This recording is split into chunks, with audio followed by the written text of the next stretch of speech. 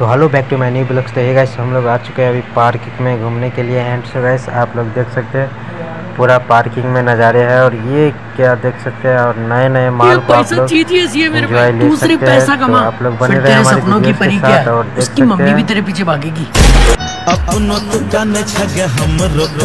so guys